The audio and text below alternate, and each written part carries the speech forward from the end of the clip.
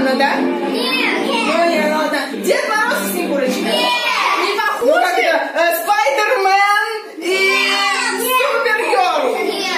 Ну, как нет? Нет. Тролли? Ты посмотрела? Нет. Ладно, Росечка, они нас узнали, они, конечно, ладно. тролли. А вы знаете, как зовут ее? Да? Я уже только что сказала. Тролли и цветами.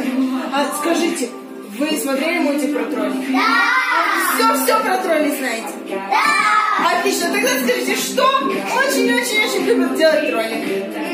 Самое наше любимое занятие. Петя. Петь, так, и танцевать тоже. Ну что ж, для начала, чтобы немножечко размяться, и вы, чтобы проснулись, потому что смотрю, Ваня уже спит еще пока такой, еще не проснулся, еще не глазки, такой серьезный.